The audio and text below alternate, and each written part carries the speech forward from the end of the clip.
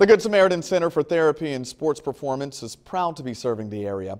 The Knox County Chamber of Commerce hosted a ribbon cutting at the facility today. You see it there.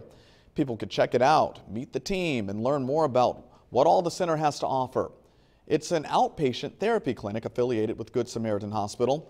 The center offers physical, occupational, and speech therapy, as well as sports performance training.